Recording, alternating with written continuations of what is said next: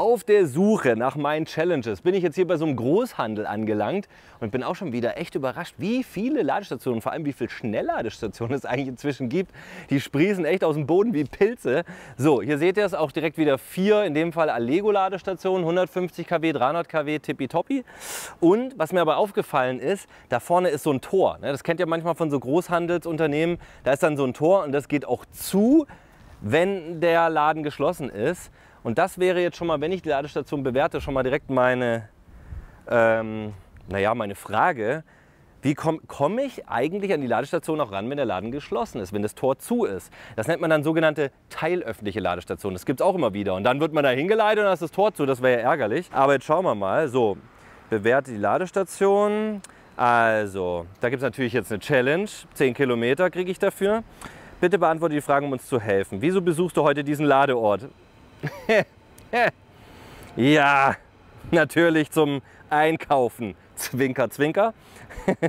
Wie einfach war es, die Parkplätze an der Ladestation zu finden? Super einfach. Ist nämlich direkt, wenn man reinfährt, auf der linken Seite hier. Also es war top. Äh, wie hast du diesen Ladeort gefunden?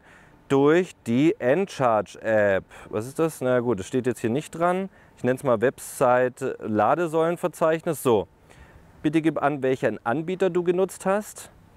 Welchen Anbieter habe ich jetzt genutzt? Hm. Einen guten Smiley. So, kann ich da jetzt auch was schreiben? Weiter. Hoffentlich kriege ich noch einen. Hier. Um welchen Fahrzeugtyp handelt es sich bei deinem aktuellen Fahrzeug? Ah ja, guck mal, das kann ich hier VW ID3 direkt in dem Dinger auswählen. Bewerte die Zugänglichkeit. So, bitte bewerte, wie einfach der Zugang. Jetzt gerade einfach, aber das weiß ich ja noch nicht genau. Mach ein Bild von der Ladestation an 0 2542.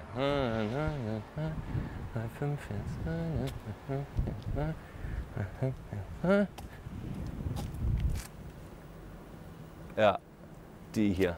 Okay. Bild aufnehmen. Steht übrigens auch ein schöner roter ID3, ist auch nicht schlecht. So. Aber gut, darum soll es jetzt hier nicht gehen. Zack, machen wir ein Bild. Foto benutzen. Hochladen. So, mache ein Bild vom Parkplatz inklusive der Markierungen. Da jetzt zum Beispiel, das wäre jetzt eine erste Kritik, könnte man jetzt auch wieder die, die Böden blau einzeichnen. So, machen wir mal hier ein schönes Bild von dem Parkplatz. So, zack. So, Vorsicht, Kameramann, nicht umgefahren werden. so, hochladen. Also, bewerte die Sauberkeit der Umgebung. Ja, sieht alles super aus.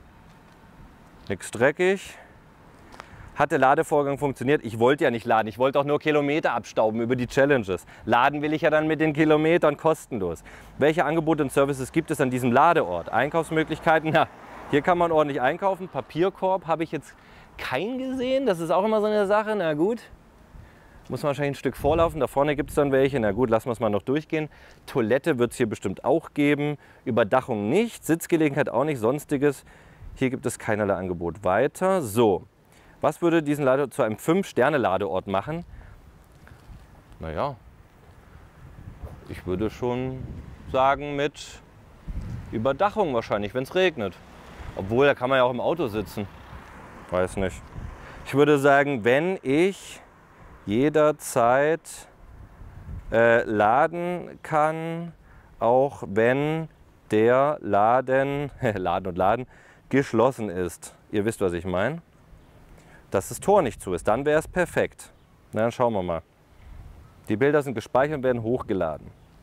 Ich habe damit ja praktisch jetzt dem Team, in dem Fall jetzt denke ich mal Allego, dem CPO, also dem Ladesäulenanbieter, die, ähm, den Wink mit dem Zaunfall gegeben, hey, da bin ich nicht ganz sicher, ob man da immer reinkommt. So, und wieder 10 Kilometer, das geht eigentlich wirklich zackig, oder? Und ich finde es irgendwie cool, man setzt sich mit den Ladestationen auseinander. Also mir macht das sehr viel Spaß. Das müsst ihr natürlich für euch rausfinden, ob ihr da auch Bock drauf habt. Und natürlich kann ich jetzt nicht jedem empfehlen, überall hinfahren und die Challenges zu machen, sondern im besten Falle, wie gesagt, guckt ihr einfach mal, wenn ihr unterwegs seid, mal kurz in der Encharge-App nach, gibt es wieder irgendeine Challenge. Und dann macht man das so beim Vorbeigehen oder wenn man sowieso lädt. Ihr könnt euch übrigens auch bei jeder äh, Ladesäule über diesen Knopf hier in der Mitte unten einchecken dann könnt ihr zum Beispiel hier jetzt auch die Allego-Station, das geht immer. Da gibt es jetzt keine Kilometer dafür, aber ich kann jetzt sagen, wie war die Erfahrung, Daumen hoch, Daumen runter. Ähm, und dann kann ich jetzt hier schreiben, mag ich, was auch immer, ihr ein Feedback habt. So. Und das Coole ist, dann sammelt ihr jetzt sozusagen, ja, Punkte bei Encharge. Das ist ein cooles System. Du bist das erste Mal hier, Zeit zum Feiern, das ist dein erster Besuch. Jetzt habe ich 15 solche Encharge Punkte bekommen, um mich sozusagen hoch zu leveln. Äh, hier, Thomas ist der lokale Held mit Einbesuchen, das war jetzt jemand anders. Da kann man sich einfach so ein bisschen hochleveln und das Schöne ist, man kann dann, weil das muss ich euch auch ganz ehrlich sagen, ich gehe gleich noch mal eine Runde shoppen, äh, man kann ja auch über Shoppen die Punkte sammeln, das dauert aber immer eine Zeit lang, bis die Punkte gut geschrieben sind. Das ist auch immer wieder eine Kritik. Aber wenn ihr hier fleißig ähm, äh, auch die Check-ins macht und alles, dann könnt ihr auch und allgemein fleißig mitmacht hier bei den Challenges und so weiter, könnt ihr auch zum Shopaholic, glaube ich, werden. Das es, glaube ich, so ein, so ein nächstes höheres Level.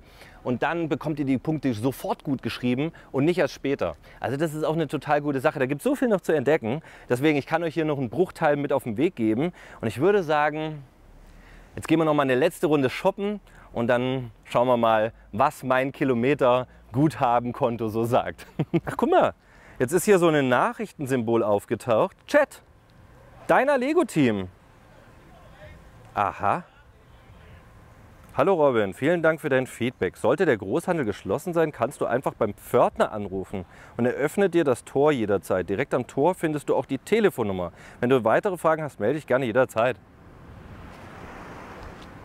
Wie cool ist das denn? Ich habe doch gerade noch reingeschrieben, dass ich mir nicht sicher bin, wenn das Tor. Und ich habe vorhin noch gesagt, manchmal chatten die mit einem. Jetzt hat mir praktisch das Lego-Team direkt schon geschrieben, dass man dann den Pförtner anruft am Eingang und da steht die Telefonnummer und der macht dann auf. Jetzt bin ich überrascht.